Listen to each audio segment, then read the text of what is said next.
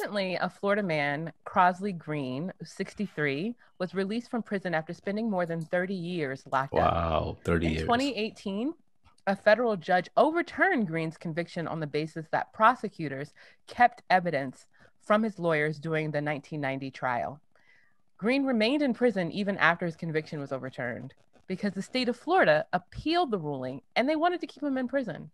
But Hmm. last Tuesday, a federal judge, Roy B. Dalton, granted a motion from Green's lawyers to release him from prison, pointing out that his age and a recent exposure to tuberculosis while incarcerated put him at risk for getting COVID 19.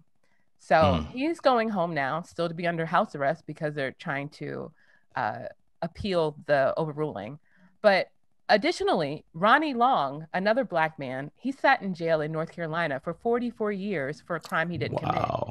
Wow. And so now he's been released, but he's also trying to fight a law that says he's only owed $7,500,000 for 44 years, right? Wow.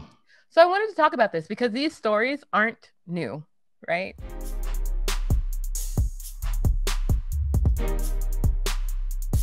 Hi, Breaking It Down viewers.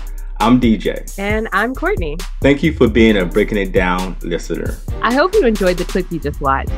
We post new full length episodes each week that inform, inspire, and make you laugh, and you can watch anytime. And you can find our videos by searching Breaking It Down with DJ and Courtney on YouTube, Apple Podcasts, Google Podcasts, Spotify, and anywhere else you listen to your podcasts. Or you can click the link in this post to see this full episode. To help us grow our Breaking It Down family, please remember to comment, like, follow, share, and subscribe. Thank you. Thank you.